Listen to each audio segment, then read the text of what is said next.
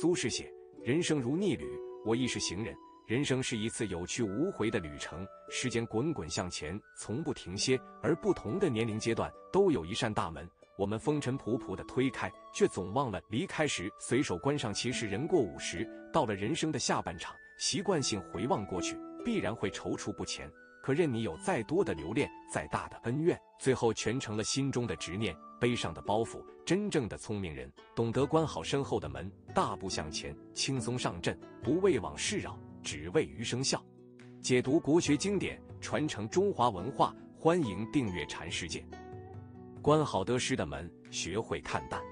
一书说，有得有失才是人生，切忌愤愤不平。如果抓着过去的得失不放，或张扬，或沮丧，只会扰乱思绪。得到的是幸运，失去的是常态。你看得越重，内心越是疲累不堪。世事诸多无常，人生几多风雨，何必要去挂念一时的得失？更何况你再去计较执着，过去的早已过去，不如关门转身离开。就像《后汉书》中破赠不顾的那个叫做郭泰的人，他手中的瓦罐摔碎在地，他却头也不回地离去，毫不惋惜。有人问起原因，他淡淡的说：“既然已成事实，再惦记又有什么用处呢？人活在世上，最重要的。”从来不是过去，而是宝贵的当下和将来。曾国藩说：“得失有定数，求而不得者多矣。纵求而得，亦是命所应有。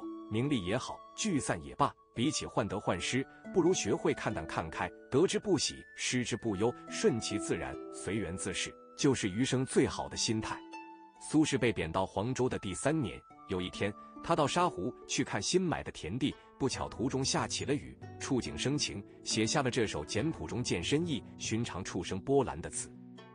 不要害怕树林中风雨的声音，不妨放开喉咙吟唱，从容而行。煮竹杖叶草鞋，轻便胜过骑马，这都是小事情，又有什么可怕？披一蓑衣，任凭湖海中度平生。料峭的春风把我的酒意吹醒，身上略略微微感到一些寒冷。看山头上斜阳已露出了笑脸。回首来时，路上风雨萧萧；归去时，不管他是风雨还是放晴。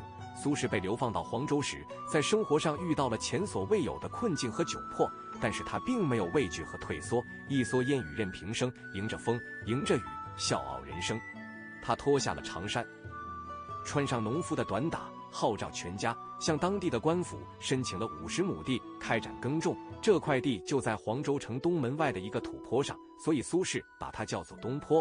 而把自己就叫做东坡居士，一个被贬之人，还是个穿长衫的文人，居然种起地来，在当时看来，简直就是丢人现眼。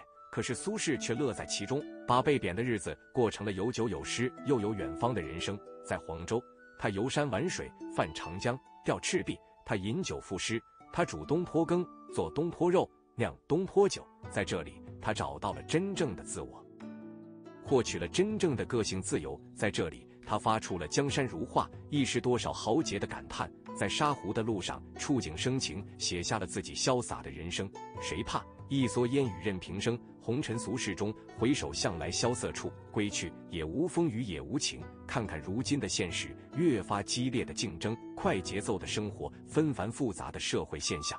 房贷、车贷等给我们增加了无形的压力，在成人的世界里，从来都是那么的不易。熬不住就出局，熬得住就出众。遇到挫折时，会有莫名的困惑；遇到事情无能为力时，会有莫名的感伤。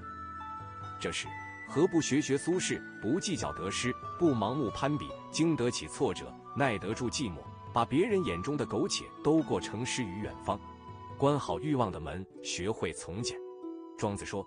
鹪鹩巢于深林，不过一枝；鼹鼠饮河，不过满腹；鸟在森林栖息，不过占了一根树枝；鼹鼠到河中饮水，不过喝一饱肚。人亦是如此，广厦万间，夜眠不过七尺；珍馐美味，日食只需三餐。或许年轻时汲汲于富贵，汲汲于物质，想要的太多，所求的太甚；可到了一定年纪，看清生命的真相，更明白物质的富足，永远比不过内心的丰盈。况且欲壑难填，贪念难止。人一旦坠入欲望的深渊，就会给自己带来无限的苦痛和灾祸。正所谓大道至简，凡在人心。五十岁后，关好欲望的门，学会减法过生活，回归简单，回归素朴，知足常乐，无闲事，人生处处皆风景。毛泽东要求别人的自己首先做到：他一生粗茶淡饭，睡硬板床，穿粗布衣，生活极为简朴。一件睡衣竟然补了七十三次，穿了二十年。经济困难时期，他自己主动减薪，降低生活标准，不吃鱼肉、水果。上世纪六十年代，有一次他召开会议到中午还没有结束，他留大家吃午饭，餐桌上也是一大盆肉丸熬白菜，几小碟咸菜，主食是烧饼。伟人在勤俭节约方面为国人做出了表率。关好恩怨的门，学会善忘。季羡林先生在书中写：如果不能忘。或者没有忘这个本能，那么痛苦就会时时刻刻都新鲜生动，时时刻刻像一开始那样残酷地折磨着你。到了五十岁，遇见过许多人，经历过许多事，有好有坏，有苦有甜，难免会因为一些人和事发生恩怨纠葛，对错难分清，心中意难平。比如朋友的伤害、爱人的背叛、事业的纠纷、家庭的不愉，可若是无法忘记，堆积在心头，不过是自我消耗、自我惩戒，让伤口常常如新。五十知天命，要明白余生很贵，千万不要为了不值得的人和事浪费时间、折磨自己。你往回看的每一眼，都是一种累赘；你向前迈的每一步，都是一种成全。正如《了凡四训》里说：“从前种种，譬如昨日死。”从后种种，譬如今日生，曾经的恩怨是非，与其执着不休，不如试着淡忘，让他们随风而逝，卸下心头的负担，赶走天空的阴霾，和自己和解，和往事和解，才能心情明媚，过好今后的每一天。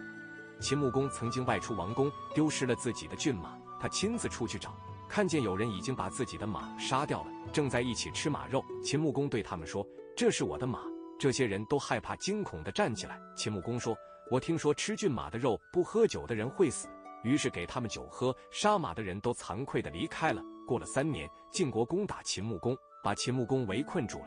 以前那些杀马吃肉的人互相说：“我们到了已经可以以死来报答穆公给我们马肉吃、好酒喝的恩德的时候了。”于是就击溃了包围秦穆公的军队。穆公终于解决了困难，打败晋国，并抓了晋惠公回来。关好遗憾的门，学会翻篇。三毛说：“遗憾是一个让人又爱又恨的东西，没有它的生活并不完美；有了它，却又让人不堪面对。走过半生，哪有什么事事尽如人意？遗憾常有，悔恨常在。那些来不及做的事，那些不曾留住的人，困在心里，满是惆怅。若频频回首，捶胸顿足，自怨自艾，就会被遗憾淹没，被挫败包围。人生无法重来，过去无法改写。”但你可以尝试在当下，开启新的未来。毕竟，比起耿耿于怀当初的选择，此时此刻的生活也更值得把握。要知道，所有的一切都是最好的安排。学会翻篇，及时止损，继续向前，不遗余力地耕耘每一个现在。满目山河空念远，不如怜取眼前人，珍惜身边人，做好手中事，就是最清醒的活法。德国作家黑塞说：“有些人认为坚持会让我们变得更强大。”但有时候放下才是过去的，就让它过去；发生的就让它发生。若想人生一路向前，我们就不要频频回眸。解读国学经典，传承中华文化。欢迎订阅禅世界。